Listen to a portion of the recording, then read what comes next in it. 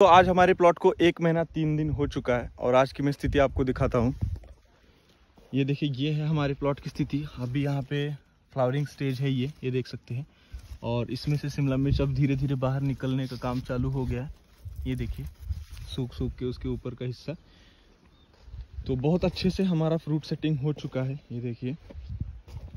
और जो पौधे हमारे मर गए थे, यहाँ के यहाँ के, ये देखिए मर गया है। क्या कर सकते हैं इसके लिए? ख़त्म।